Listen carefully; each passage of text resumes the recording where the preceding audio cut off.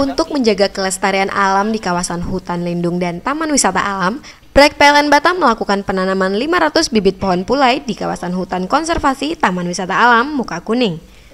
Sekretaris perusahaan PLN Batam, Samsul Bahri, mengatakan penanaman pohon merupakan kegiatan rutin yang dilaksanakan oleh PLN Batam untuk mendukung kelestarian lingkungan.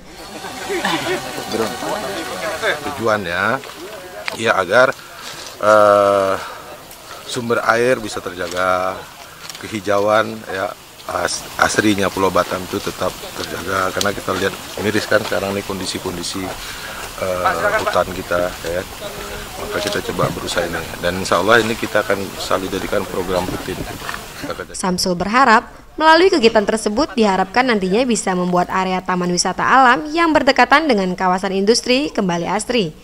Selain melakukan penanaman pohon pulai, PLN Batam juga melakukan kerjasama pengelolaan jaringan listrik yang melalui kawasan hutan lindung Muka Kuning dengan Balai Besar Konservasi Sumber Daya Alam untuk menjaga area jaringan listrik tersebut. Dari Batam, Pascal yang hebat melaporkan.